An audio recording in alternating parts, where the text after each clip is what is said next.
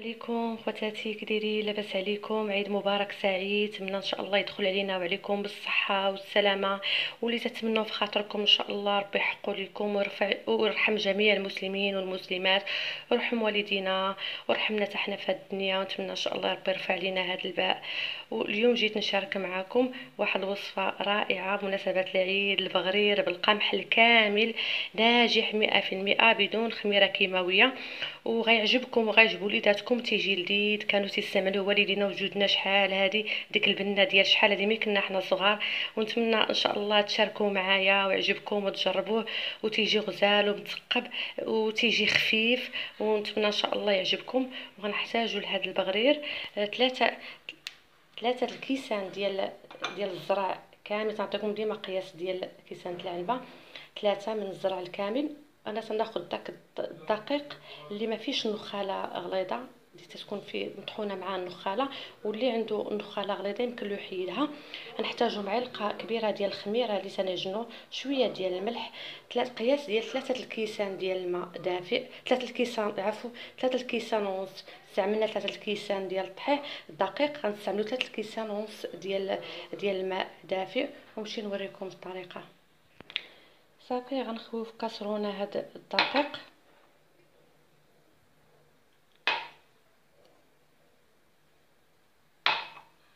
نديرو الخميرة. شوية الملح. نحركوهم.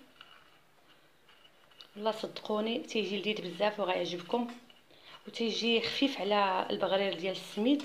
تيجي خفيف بزاف وصحي.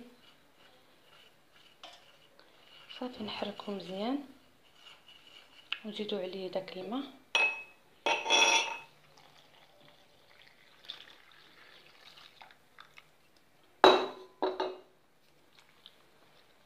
نحركو. عاد من نحركو مزيان غنعملو في الطحانه الكهربائية. ونخليه يطحن واحد خمسة ديال الدقائق مزيان. عاد غنخليه يرتاح واحد عشرة ما تخليوش بزاف. دابا الحال سخون. واحد عشرة ديال الدقائق أو 15 دقيقة. عاد باش نوريكم الطريقة ديال الطهي ديالو. بعد ما سخنت البوطة. المقلة. ماشي بزاف. ما تسخنوهاش بزاف. باش ما تحرقش لكم البغريرة. صافي ملي بدات تثقب شوية نقصو على البوطة.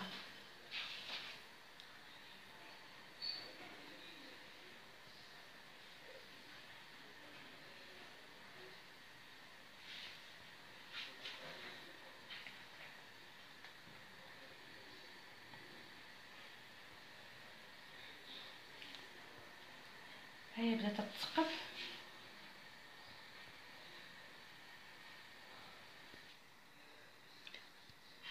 هي من بعد ما كملات كاملة بالتقيب ديالها هي تتجي خفيفة ودوك التقيبات تيجيو رقاق تيجيو رائعين.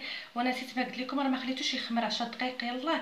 باش طحنتو تبارك الله شو خمر وبديت نطيب. ما خليتوش كاع حيت الحال كاين الحرارة اليوم. صافي. هاي من بعد ما كملات كاملة التقابي ديالها صافي نحيدوها. هي ولاتنا على هذا الشكل. هي رائعة. باقي العجين ديال البغرير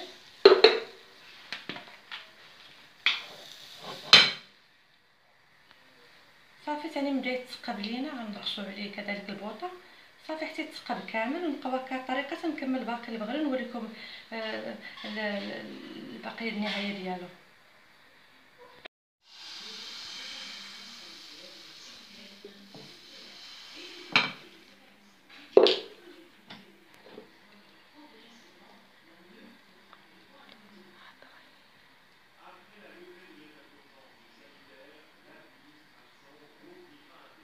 صافي تبان لكم الفرقه تتثقب هكا نقصو على البوطة باش كاملة تثقب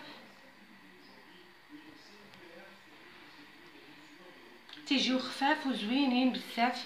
وأنا عجبوني على البغرير ديال السميد تيجيو دوك ستينات رقاق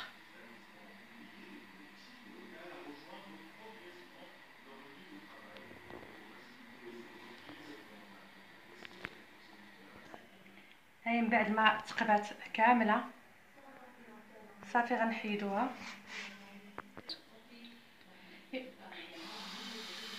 صافي نبقاو على هاد الطريقة هكا حتى نكمل باقي العجين آخر ونمشي نوريكم إن شاء الله كي كيخرج لنا هذا البغرير ديال الزرع.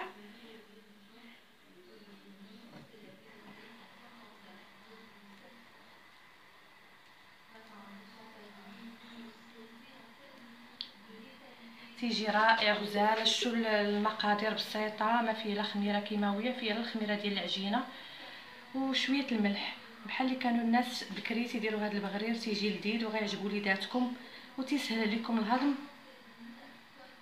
رائع نتمنى إن شاء الله تجربوه.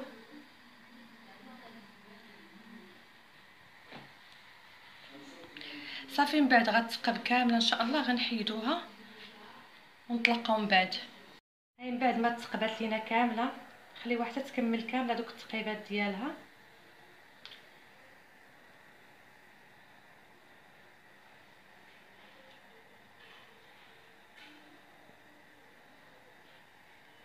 صافي نحيدوها من المقلة وتنبقاو هكا تنكملوا باقي العجين اللي عندنا. البغرير ديالنا من بعد ما كملته ها ولينا على هذا الشكل جا كله مثقب وخفيف. محمر من التحت. كل واحد كتيبغي تيبغي يحمرو لي أنا أنا تنبغي يحمر من التحت. تيجي رائع وناجح مئة في المئة. وصحي ونتمنى إن شاء الله تجربوه في البيت ديالكم وياكلوا وليداتكم. راه مفيد بزاف للذات. الناس اللي عندهم مشاكل ديال الهضم مشاكل ديال المعده راه تيصلح لهم هذا البغرير ديال الزرع الكامل. ونتمنى إن شاء الله هذا الفيديو ديال اليوم تجربوه يعجبكم وتبارطاجيو مع الأصدقاء. واللي أول مرة غيشوف هذه الحلقة ديال اليوم يعمل لايك واشتراك وما تنساوش التعليقات زوينين ديالكم. تتفرحوني وتدعموني باش نزيد إن شاء الله الأمام. وعيد مبارك سعيد ونخليكم على خير في حلقة أخرى. والسلام عليكم ورحمة الله تعالى وبركاته.